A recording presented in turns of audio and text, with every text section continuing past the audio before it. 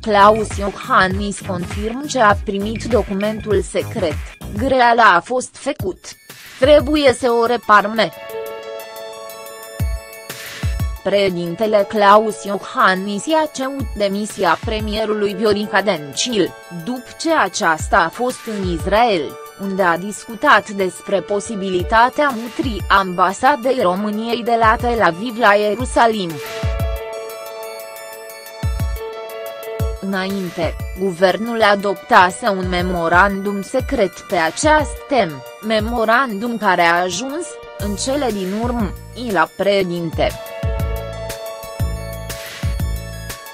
Iohannis îi critic pe cei de la putere, mai ales pe Liviu Dragnea, cel care a anunțat primul ce guvernul vrea mutarea ambasadei.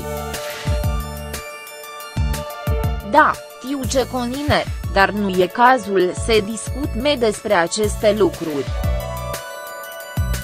Oricum, părerea mea a rămas aceea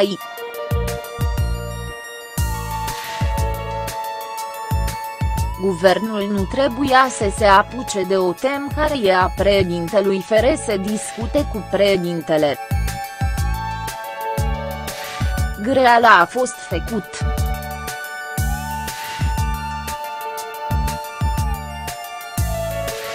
Ceea ce trebuie să facem acum, în continuare, e să o reparme. Nu am niciun interes și România ca asta nu are niciun interes să strice relațiile foarte bune, de prietenie, cu Israelul, din cauza unor politicieni care nu au înțeles care e rostul lor. Memorandumul e secret, nu vreau să vorbesc despre el, pentru ce legea a spune doar unii care s-au considerat un pic mai importanti au fugit la televizori au povestit despre memorandum. Acest lucru se poate discuta și se discut de mult lume. De exemplu, în Israel se discut de cel puțin 20 de ani această chestiune, în realitate se discut de mai mult vreme, însă discuția rămâne una prospectiv atâta vreme cât condițiile cerute de ONU, de UE nu sunt îndeplinite.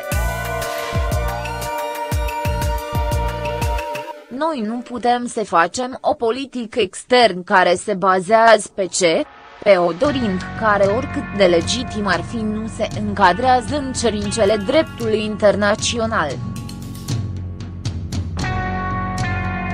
Aceste chestiuni au mai fost discutate.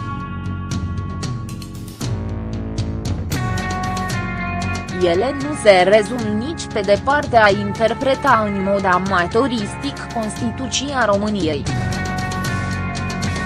sunt chestiuni extrem de complicate legate de procesul de pace din Orientul Mijlociu. Sublinierei poate vă amintiți când am discutat această chestiune cu premierul Netanyahu, care m-a sunat pe această temă, i-am spus ce noi înțelegem dorinca de a avea capitala acolo sublinierei istoric, cultural există motivații puternice pentru această dorincă dar mutarea ambasadelor de la Tel Aviv la Ierusalim cine mai degrabă de finalizarea sublinierei rezolvarea procesului de pace în zonă decât de voința politică a unui actor din Europa, a spus Iohannis.